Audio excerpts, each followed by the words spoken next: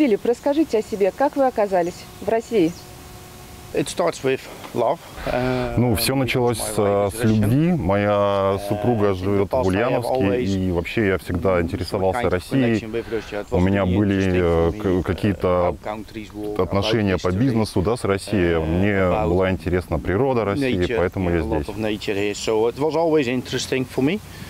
Вас кто-то предостерегал от поездки в Россию? Может быть, какие-то стереотипы работали по поводу нашего менталитета, общества, а, всего, что нас окружает?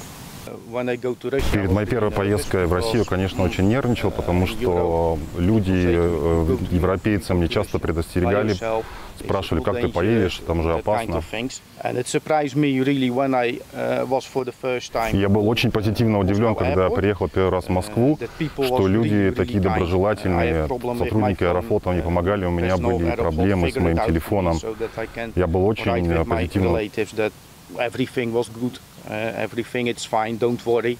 Чувствуете ли вы себя в безопасности, находясь в России? Поделитесь впечатлениями, ощущениями. Да, I feel myself really safe in Russia. никогда a такого ощущения, что кто-то там сзади ко мне подберется и что-то мне причинит. me, something like that. Нет. That can be really short. Ну, я на этот вопрос могу ответить очень коротко. У нас в Европе and очень-очень много мигрантов, и каждым днем when становится все больше. А в России я могу наблюдать, also что мигранты, они чувствуют себя как гости, а не как хозяева, и они работают, в отличие от э, мигрантов.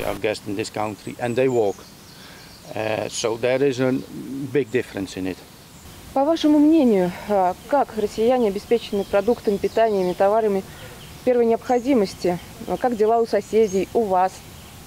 Mm, Since I start living here, my weight is 10 kilo higher because I was Ну, на мой взгляд, ситуация 80. довольно-таки стабильная в 90. России. А, Даже если пойти в Uh, супермаркет, конечно, цены немножко выросли по отношению к тем ценам, которые я видел при моем первом приезде. Но я считаю, что в целом ситуация стабильная. Когда я приехал в Россию, мой вес был corner in the 80 supermarket. килограмм, сейчас я вешу when you go 90. Это само за себя говорит, что в стране, где мало еды, то это просто было бы невозможно. Также я, когда прихожу в супермаркет, я вижу, что полки полные. Это касается как еды, так и одежды, много скидок. По поводу гастрономических предпочтений, расскажите, что вам больше всего понравилось из как раз продуктов, может быть, мясо, рыба, и наши русские блюда, какие уже оценили. В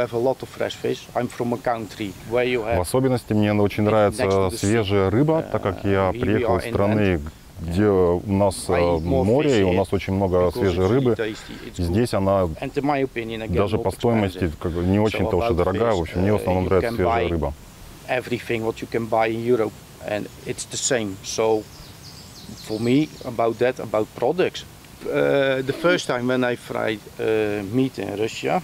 Uh, В особенности меня очень удивило качество мяса в России, потому что когда я в своей стране покупаю э, кусок мяса, end начинаю его жарить, он э, почему-то уменьшается в размерах. Здесь этого не происходит. Я жарю мясо, оно остается I таким же, таким же э, по размеру, очень вкусное. Мне очень нравится местное мясо.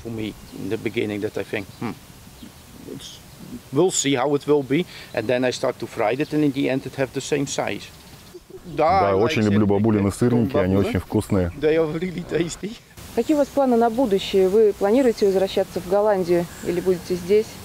Uh, Планирую попутешествовать по России, потому что я мало еще где uh, был. Особенно хочу побывать на природе, uh, увидеть российскую природу. Когда планируете возвращаться на родину с супругой? Есть ли такие планы? Нет. Только в гости или чтобы посетить and семью. back. Не обойдемся без политики, время сейчас такое. Вы читаете, смотрите новости и голландские, и российские, анализируете.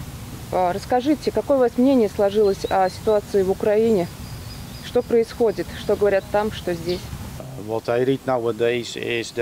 Ну, что я заметил, когда you read читаешь новости европейские и новости в России, see это очень большая разница. В европейских новостях пишут все, что во всем виновата. Россия. Если ты интересуешься или знаешь историю, то ты понимаешь, что это не началось там несколько месяцев назад, что корни гораздо глубже. Что я, например, прочитал буквально вчера в новостях, что оружие, поставляемое странами НАТО в Украину, уже находится на черном рынке. И это меня очень беспокоит. Ну и как бонус, веселая история от нашего героя. Филипп, расскажите, как вы провели День Победы, первый День Победы в нашей стране? On the 9th of May, I remembered like yesterday, uh, because we were invited for a birthday of the friends of my uh, wife. So we go to a little village and there there are a lot of other people who I don't know. So for me it was a little bit how it will be, what I can expect.